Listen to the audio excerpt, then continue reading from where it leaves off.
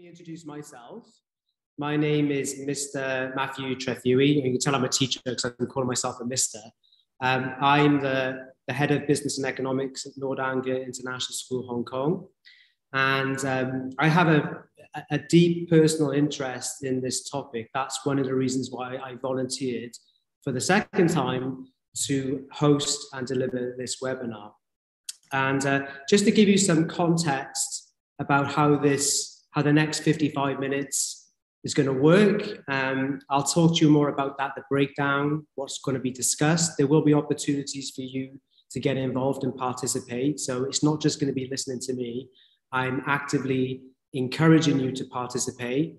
And um, that brings us, that seg- gives me a nice segue into the housekeeping. So as already mentioned, please um, mute your microphones unless you are speaking. Um, you're welcome to turn your cameras off if you don't want to be because it's being recorded.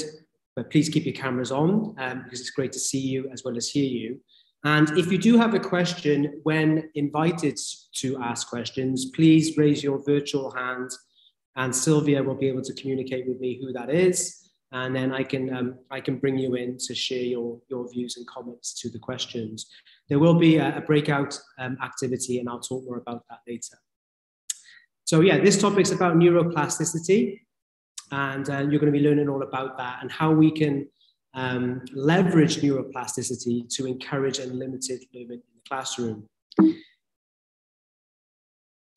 So for me, success today would be for you guys to all walk away from this webinar knowing more about what is meant by neuroplasticity and how we can embrace it, not just as educators, but as people ourselves, because we're always learning too, not just the people we, we have in our classrooms.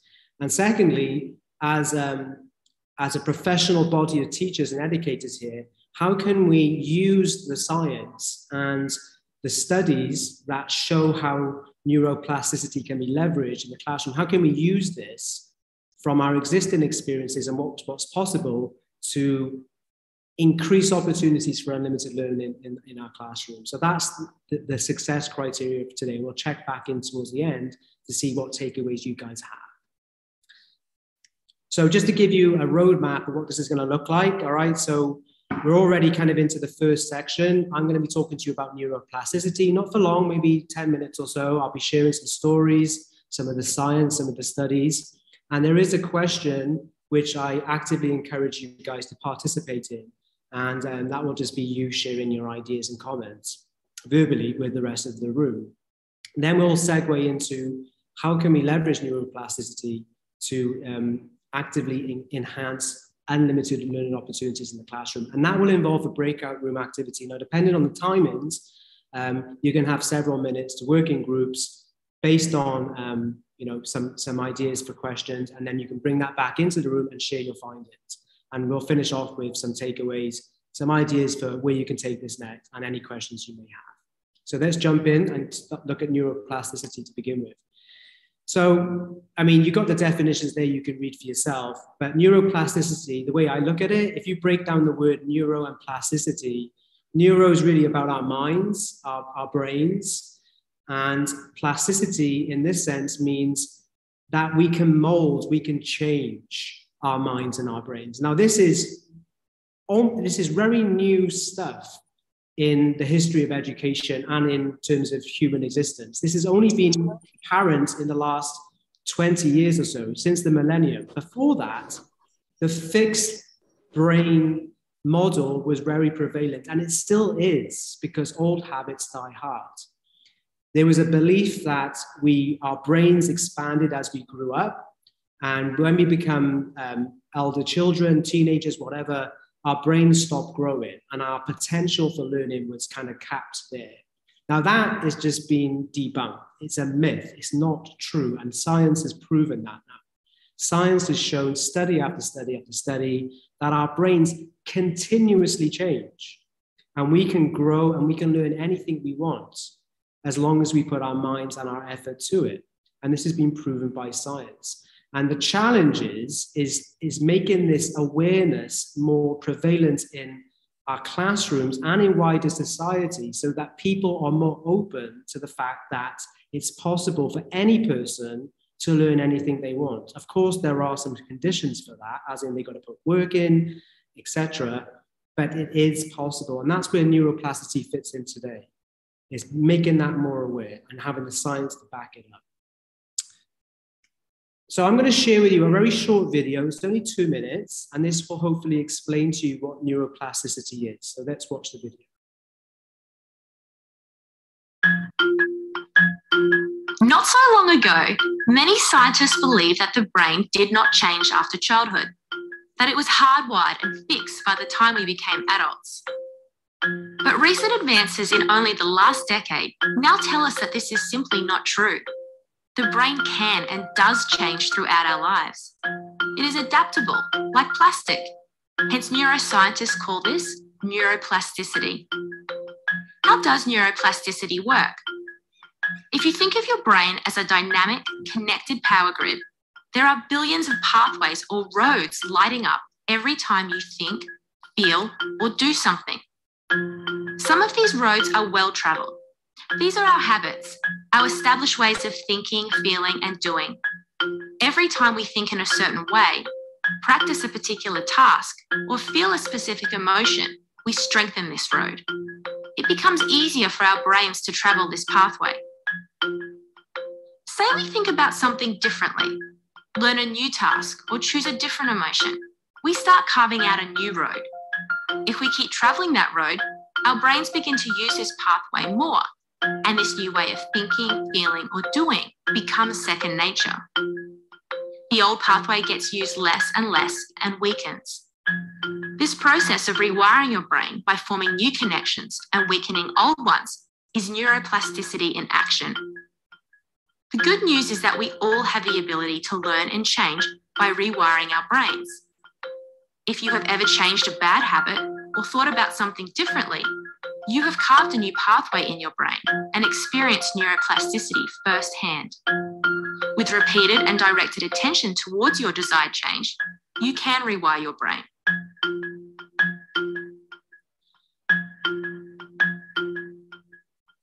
And you may notice that that video was produced in 2012, and I think uh, the, the narrator said in the last decade or so. So it just shows you that this science, this is fairly new. And because of that, it's still a lot of people out there unaware of it. And it's still the old model of fixed mindset, fixed brain is still very much out there. And we need to challenge that. So please allow me just to kind of just summarize what happened in that video. So what they were saying it was that whenever we we learn something new or we do something different or we have a new feeling or an experience um, we have these things called synapses in the brain, and they're like new pathways. And when we do something new for the first time or learn something new, we create a new pathway. And if we continue learning the same thing or doing the same thing or having the same feeling, these pathways that are new and formed, they can connect with other parts of our minds and brains, and then they begin to strengthen. But there is a caveat here because if we learn something new or do something new, and we don't keep it up, we don't continue practicing it, these pathways will just fade away. So it's almost like our brain is like a gym. It's like we don't go to the gym, our muscles get weak. If we don't keep learning or relearning what we these new experiences or whatever they may be, these pathways will just fade away. And the, that's, that's what neuroplasticity is. We can literally change and mold our brains constantly depending on what we're focusing on. And that's completely new way of thinking to what was previously had, as in our brains grow and then they stop. Now it's like, no, our brains are constantly changing each and every day. And that's, that's neuroplasticity. And there was some interesting research on this. Um, I'm from the UK, I'm not from London myself, but part of the science which developed this theory of neuroplasticity was, was based on London taxi drivers. Now, if you want to be a London cabbie, cabbie as they're called, it's one of the most intensive, difficult training in the world. London is a very complex place. It's very big. If you want to become a cab driver, you have to pass something called the knowledge, which is a test. And it takes, on average, 12 attempts to pass this test, on average, around four to six years to study for it.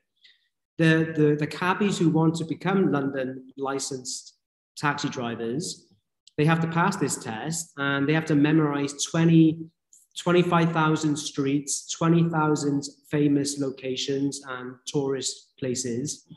And they can't just do it by memorization alone. They have to actually go out on the streets and drive these roads themselves. And what the scientists, the, neuroscientists discovered by studying the MRI scans of London cab drivers was once they were licensed and they had passed the knowledge, a particular part of their brain called the hippocampus, which is renowned for spatial awareness, had enlarged, was larger than uh, the average person. And interestingly enough, when these cab drivers retired and they stopped working as a taxi driver, that, that area of their brain began to, began to shrink back to the normal size you would see in an average person. So that goes to show that London cab drivers, on average, are not children, they're adults. And by learning and studying this spatial awareness of locations and streets, whatever, they actually grew a part of their brain that demonstrated that they had learned something. And when they stopped working as a cab driver, it shrank down to relatively normal, size. So that was an interesting uh, study that was done on this. So how does this all relate to education? Well, there is a big belief out there that student abilities are kind of fixed. I still see it, you know, I, I even schools have gifted and talented registers. I'm sure they're not doing this because they want to um, not serve children, they want to serve children, but they, they do believe, there's a, there's a belief out there that certain children are able and certain children are not. And neuroplasticity just debunks all that. It just says everyone, including us, are capable of learning anything as long as you, as long as you put the effort in and put our mind so if children are more aware of neuroplasticity, the fact that their brains are constantly changing and they can grow, this is good because it makes them more um, acceptable of the growth mindset model. And it makes them more willing to practice and make mistakes and take on challenges because it's not so much I can't do it, it's just like I, ha- I can't do it yet. I need to keep working at this and eventually I'll figure it out. And really, this is really good because it stops us as educators labeling children as more able and less able. I don't do that anymore, based partly based on this research and my own experiences. And now I look at children and, and, and anyone who wants to learn, I think they're all capable. They're all capable of learning anything. Some will take more work than others for sure. Um, and yeah, the, la- the last point, we want to we want to get away from labeling people as gifted and talented because that's really the fixed mindset model, which doesn't relate to neuroplasticity. I just want to really quickly share an experience I had as a teacher a couple of years ago, which I, I found this out before about I knew about neuroplasticity, I once had a group of about 10 mixed ability students for business studies. And I knew at the start of the year that some students were going to struggle. But I, I decided to run an experiment. I didn't judge anyone because I used to, because that was the kind of culture of they're able, they're not able. And I just said, look, I'm just going to use this 10 students. I'm going to teach them all the same way. And I'm going to teach them the best I can to pass an exam because that's I teach examination subjects. And at the end of the year, they all got the top, the top grade, which is an A star. I've never done that before. All students, despite their, their ability level, got an A star. And I was really surprised by the results. Yes, some of those students took more work than others. Yes, I had to work with them during lunchtime and after school, but they were all capable of getting the top grade. And it was because of my openness to think, well, they're all capable of learning. Whereas in my first few years of teaching, I would have been, okay, those less able students, I'll just probably aim to get them an average grade because that's all they're capable of doing. But this really happened a couple of years ago and it really opened my mind. I thought, oh my God, here are some people who I believed were not that good. And they just demonstrated that they are capable of getting the highest grade in my subject. And I surprised myself by that. And that really opened my mind to what's possible in terms of what, what we can learn. So I want to pass it over to you guys. Um, here you go is the think and share activity. I want you to consider have you ever managed to teach something or perhaps learn something yourself that you initially presumed was too difficult to do? And if you can share a little bit about what happened, what did you notice, and what did you learn? And just to give you some ideas, I mean, for me, I've always wanted to be an outstanding teacher. It took me nine years to get there. There were many times along the road that I thought I wasn't able to do it. I was plateaued. No matter what I tried, I couldn't get to that outstanding rating, which I thought was outstanding, and what other teachers thought was outstanding. but I eventually got there in my ninth year of teaching. That for me was a struggle, but it was definitely worth it. So I'll give you guys a moment to think about that. If you do want to share, I'm very happy to have you come in. If you can just raise your hand and then Sylvia can tell me who you are, and then we can give you the space to share.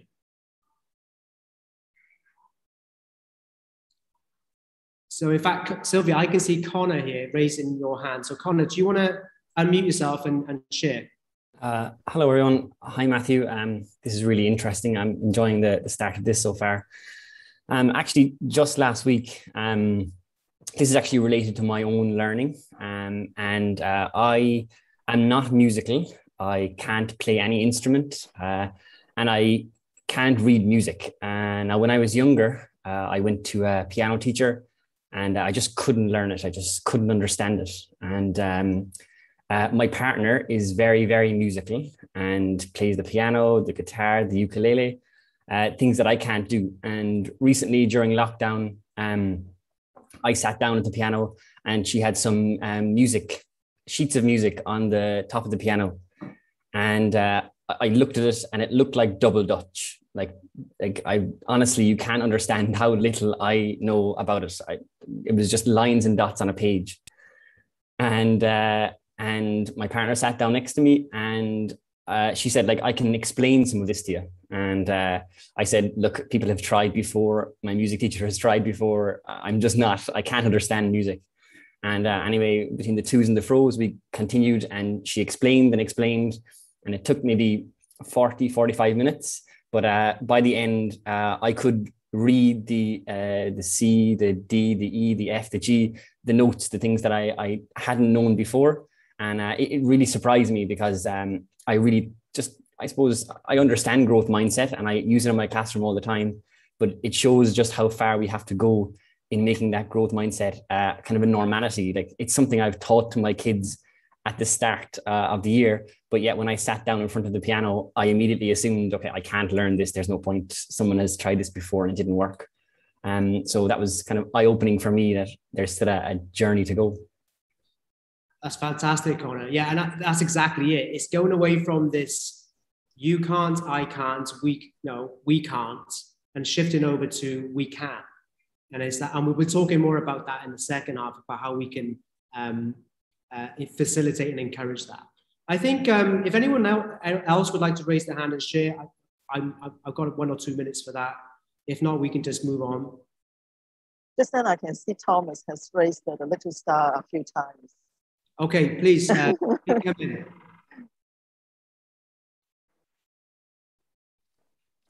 No, I, I, did raise a star. The um, star, yeah. yeah, and um, I've learned to do that a long time because I have great um, colleagues, and I've got a number of superb colleagues um, here today. Um, so I was in, I was just raising it not for myself, but just to say, uh, wonderful um, risk takers. Um, great job trying to come out and speak like that. So I'm just cheering everyone on for being here to learn and and realize that growth mindset is taking us forward into new places. So thanks for recognizing me, Miss Sylvia.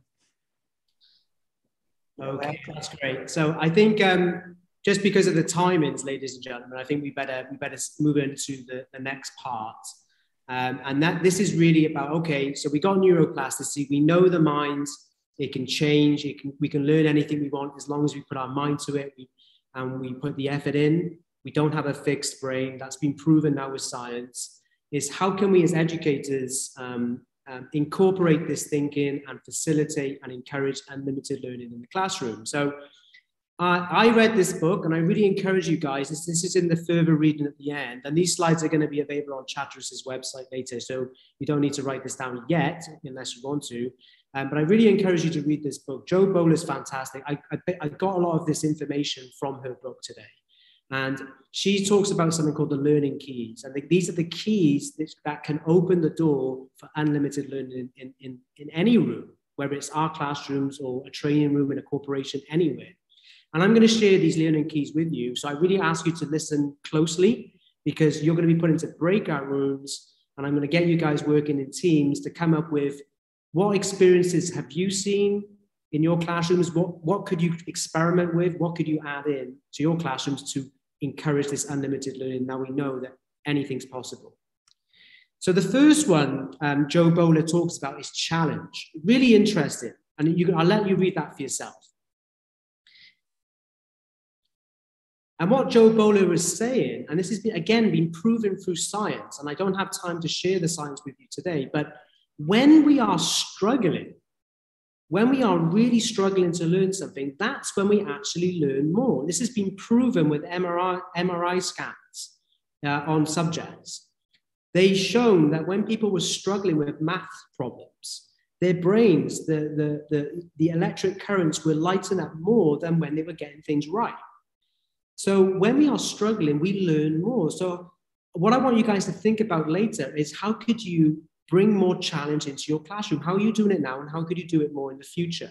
And there was an interesting case study from Jo Boaler's book where she looked at mathematics lessons in mainland China in the United States. And I'm not trying I'm not, I'm not trying to uh, represent the whole of the United States or, or, mainland China with one case study, but this is what she discovered.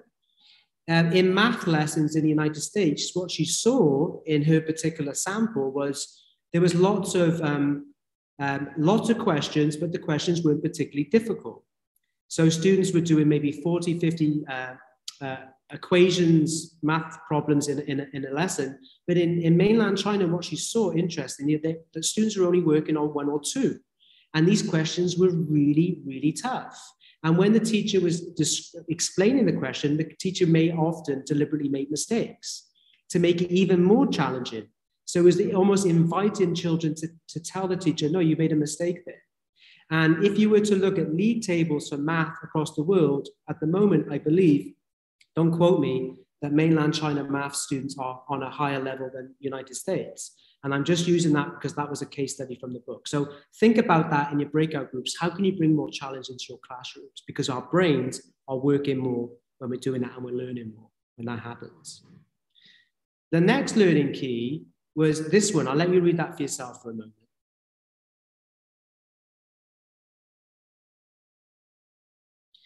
Now, this fits in nicely with the growth mindset model from Carol Dweck. All right basically, if we believe, if we believe that we can learn anything, we will. Whereas if we believe our minds are fixed, if we believe we can't, or we believe we're not good enough, that really limits our possibilities for learning. Now, I'm showing you that slide there because Carol Dweck, in her research, she, she took a bunch of math students and um, monitored them over, you know, seventh and eighth grade. Once the, the, the, the way the experiment worked is that students were given math problems to work on and students were given feedback. And in the feedback, they either got two choices.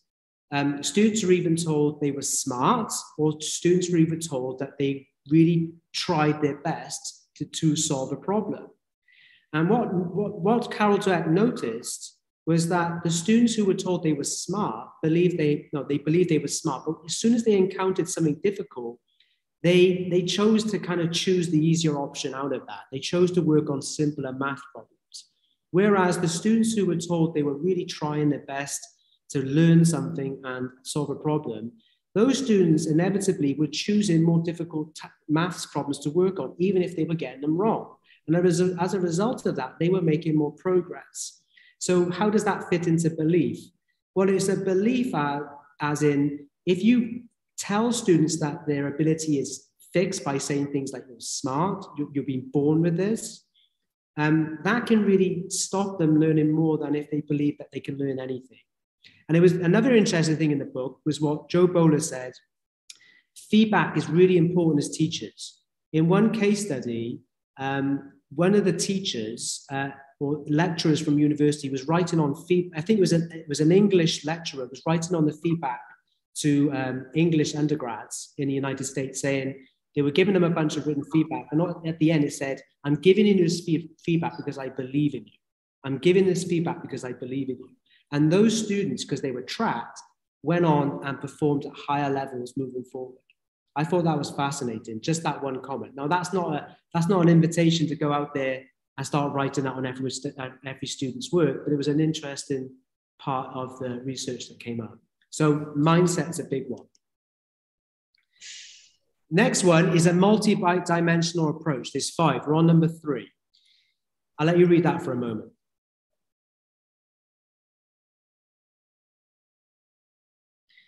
Now, what this is saying is if we can learn in lots of different ways, not just one linear way, but a multitude of ways, this can enable us to learn more.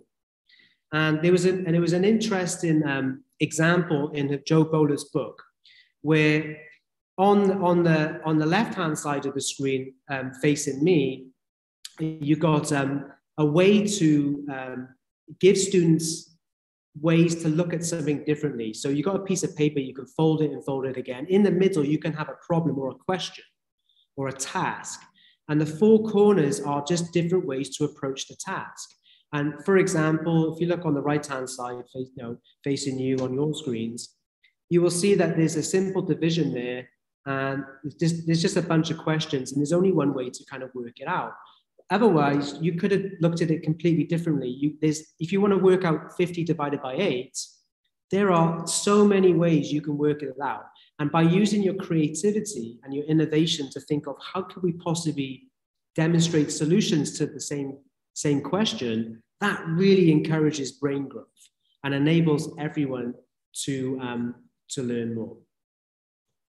So when you think about new breakout room, breakout rooms, how can we bring in flexibility and options for solving things, because apparently the study shows that really helps with unlimited learning. All right, number four, flexibility. I'll, I'll let you read that.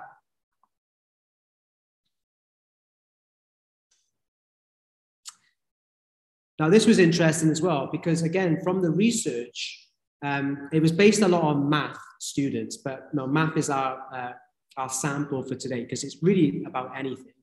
And what Jo Boaler discovered um, was when we want to learn things quickly, that's not good. In fact, we learn more when we slow things down. And, we, and we're also flexible with how we learn. And um, this is another example here of being flexible. So if you wanted to demonstrate 20 times 5 or how, no, how to work out 90 there are multiple ways you can demonstrate that. I, will let you see that for yourself. I'm not a math teacher myself but i was interested to see how you could demonstrate how to calculate 90 there.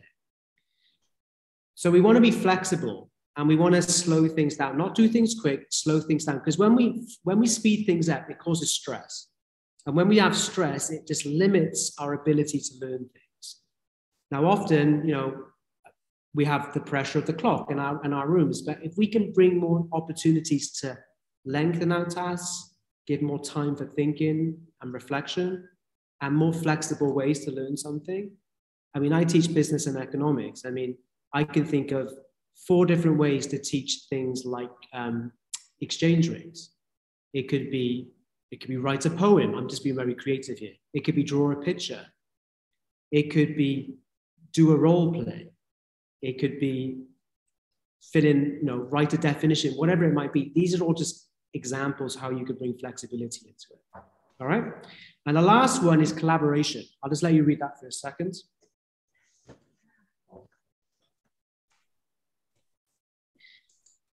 And again, the last learning key, but not the, but not least, is just saying we learn more when we collaborate, when we work um, in teams, in groups, we bounce ideas off each other, and that enhances neural learning.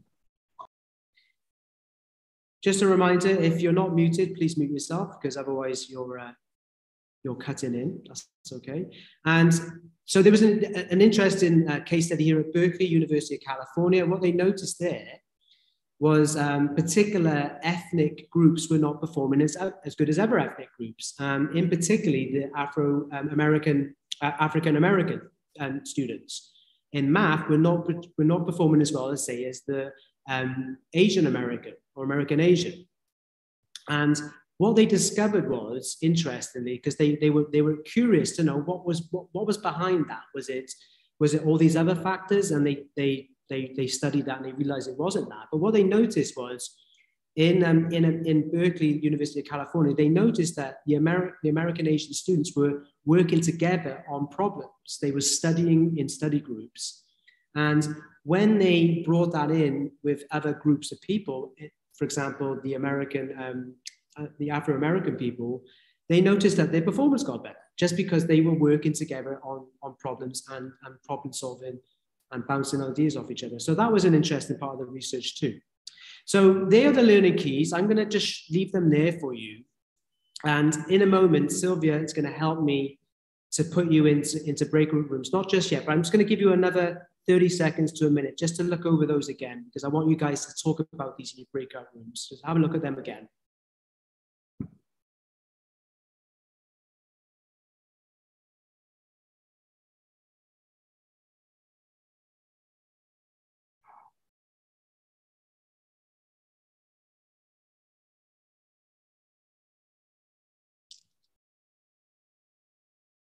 And there is some information on the next slide just to remind you. So what I want you guys to do in your breakout room is just, just to, you know, how can we leverage these learning keys to enhance unlimited learning opportunities? You might want to focus on one or more than one.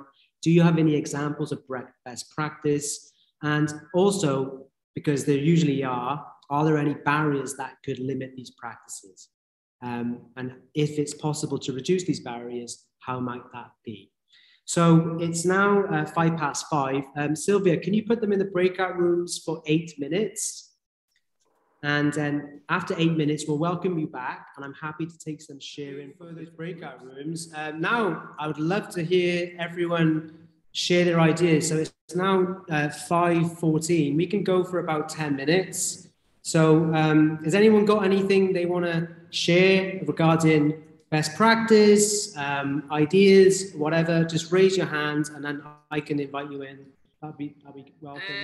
Um, yeah, I just wanted to reiterate what we spoke about in our breakout room, but um, I think a, a great opportunity for teachers in general as it relates to neuroplasticity. Um, you touched on it already, Matthew, but it's to really celebrate mistakes in the classroom and you know, that happens for Mr. Noel as well. It's not just the students who make mistakes. I regularly make mistakes as well. And I have no problem letting my students see that it's okay for Mr. Noel to make mistakes, get things wrong. And, you know, I've, I've really tried to embed that in them as well, that having a conversation, or if I ask quite an open ended question, that I've tried to instill in my class that the important thing is that the discussion takes place and it's not necessarily well who's right or who's wrong. And i think that's a good starting point to to celebrate your mistakes and that that's how it's part of our how we learn. That's great. Thanks no i'm just, you i'm just curious what do you teach? Uh, i'm a year four teacher and i teach ipc and then english math. All right fantastic no, the answer is you teach learners. We all teach learners. We don't. We teach subjects yes. to learners. Yeah. Yes. Good job. All right. Um, anyone else would like to uh, to contribute to this discussion?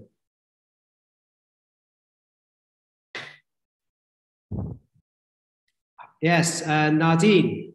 Hi. Uh, yeah, I'll just follow on a little bit from what Noah was saying. Um, so I think like getting into the exploratory talk kind of thing. Uh, you were using maths for a lot of examples but if you like use english for an example um, the equivalent would be like using open questions or having discussions and and kind of teaching students and like teaching or modeling the language so that they feel okay to express themselves and how to reply to each other as well uh, in our group uh, with tom and sari we were just talking about like how, how young learners pick up language really quickly and how they end up using it in the classroom.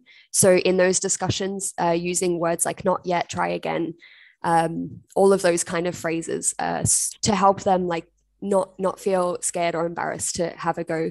Um, and yeah, I think especially with younger kids, I don't know too much about secondary, but I think um, that really impacts on their learning because they just get used to trying and doing those challenging things a bit more. Fantastic. Thank you, Nadine. Um, who would like to share next? If you could raise your hands.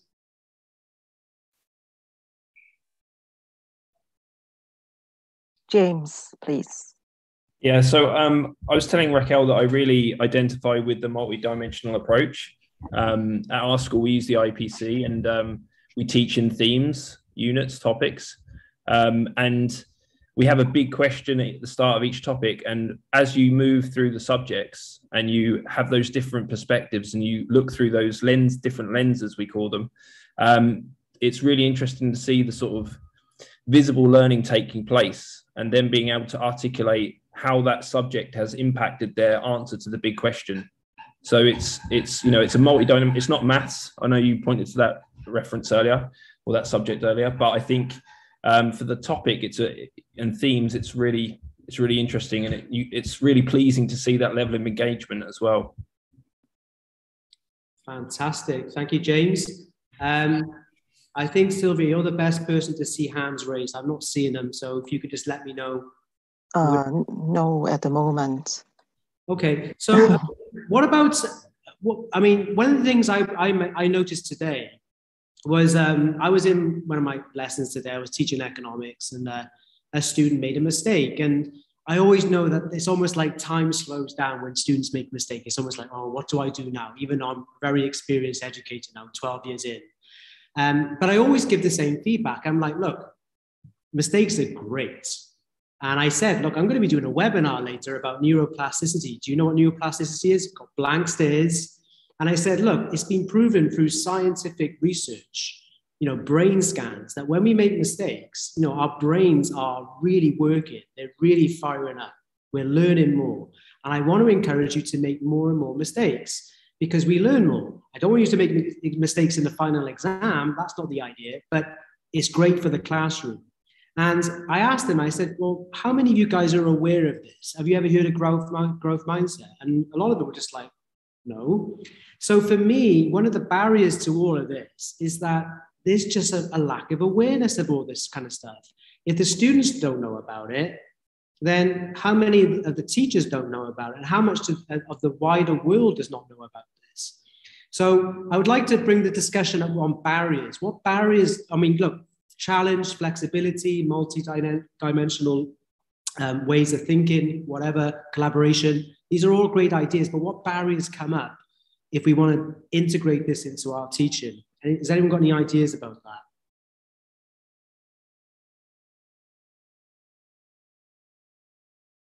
Shannon would like to uh, share some opinion. Yeah, so we were talking about how it's important for teachers and students to have growth mindset, but you kind of fighting parents as well because they teach their kids to have the fixed mindset. So you have to teach them to change that constantly. Yeah, I hear you. Absolutely. Yeah. Um, and that's my experience too, because again, this research is fairly new. You know, it was only come out from the millennium onwards, which is relatively recent. Uh, we got a few minutes left, guys. So um, yeah, any ideas, sharing a best practice? We've got some fantastic contributions so far. Um, anyone else? I got Connor. I got, got uh, would you like to come in, Connor?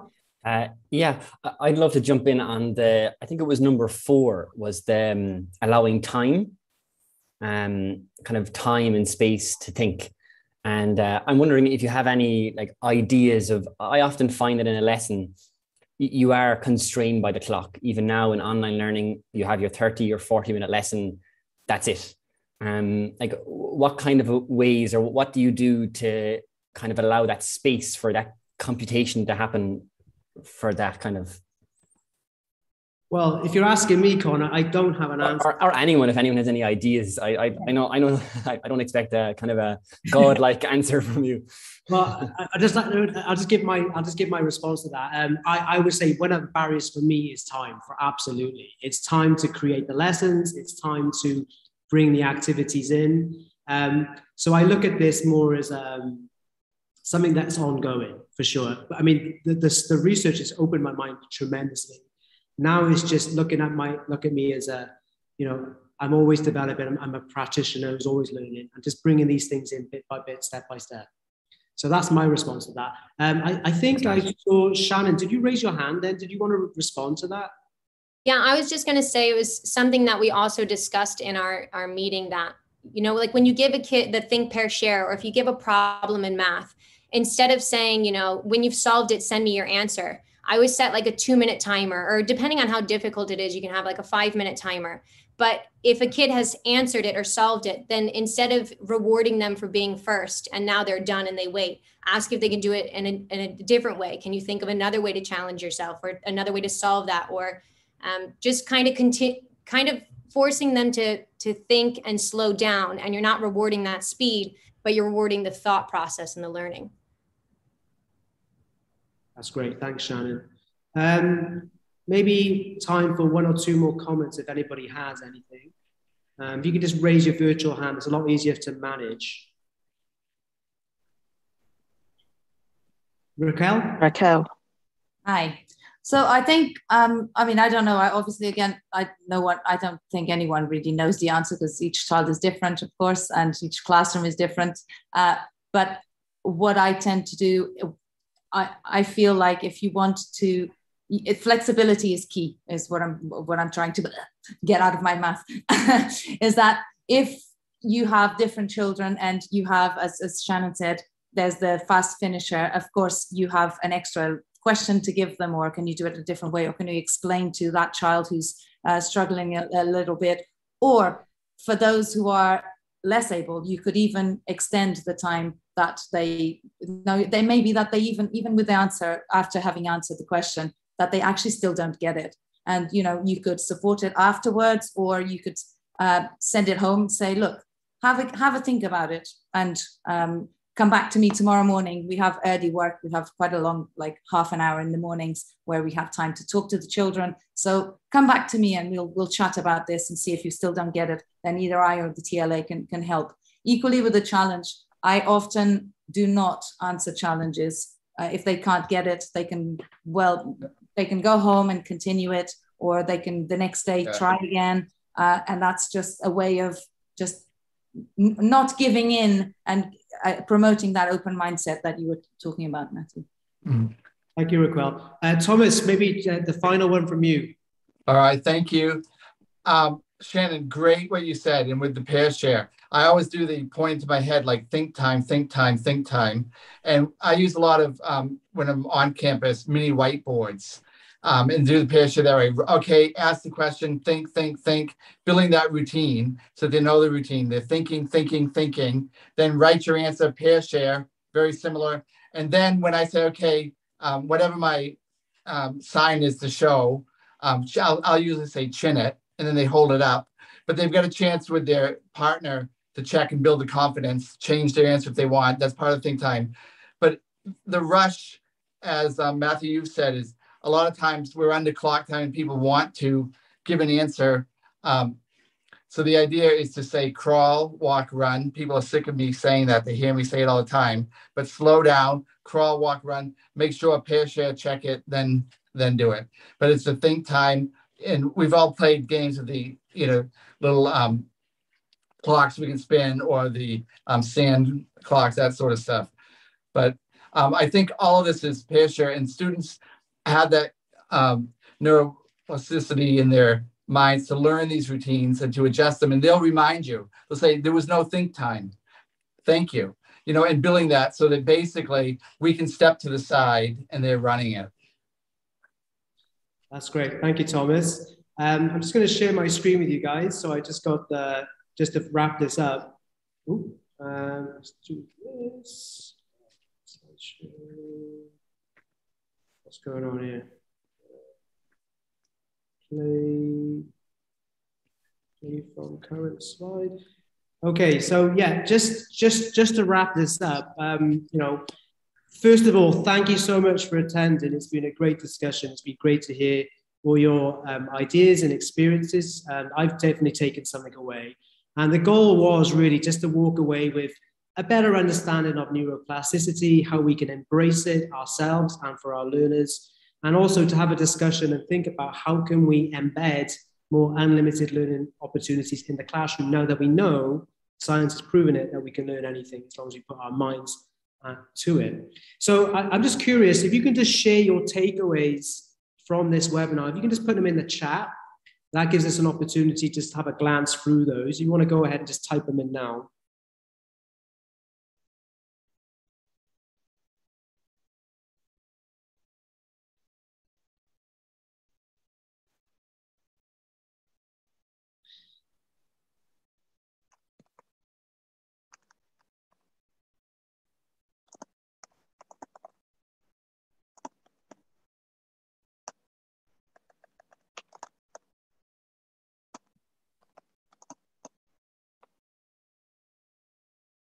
And uh, I'll let people just continue writing those uh, messages and people can have a little look around and see what people have, have taken from this webinar. And um, hopefully you found it useful and you can bring some of these ideas into your, uh, your, your, your, teaching practice. Um, if you want to do some further reading on this, um, two books I highly recommend. I mean, Jo Boaler, Boaler's book, Limitless Mind, is fantastic. She's got TED Talks. She's on, a lot on YouTube, and you'll hear the same things I'm talking about because most of it's based on her book and her research. And obviously, Mindset by Carol Dweck is a fantastic book to read, um, which is all about the growth mindset versus a fixed mindset uh, model. So I highly recommend those books. Um, there are others out there, and if you are interested, you can contact Sylvia at Chatteris, and she can put me in contact with you for further reading if you're interested. Um, so I just want to say thank you. It's been uh, it's been fun. I really enjoy this topic. Um, I know myself. I'm a lot more compassionate with myself as a person because I know about this science. I can relate it to my own life. Um, I know that when I'm struggling to learn something, such as presenting webinars or um, speaking aloud in front of hundreds of people, it's okay. I'm learning, and that's good. And um, anything is possible. Um, and if I can't do something, I always add on the words, I can't do it yet. So I just want to say thank you, guys. Uh, it's been my pleasure, and I hope to see you again on another webinar.